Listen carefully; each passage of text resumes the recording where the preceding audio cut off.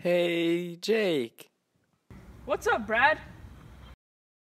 Do you know what to dress up for on Tuesday? No, what is it? It is Toon Tuesday.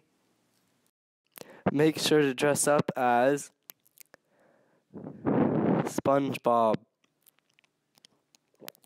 Looney Tunes,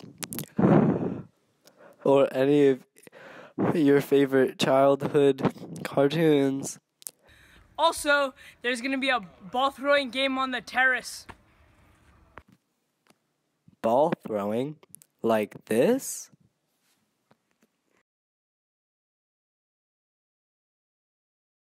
Also, homecoming is on Saturday the 28th, so make sure to come.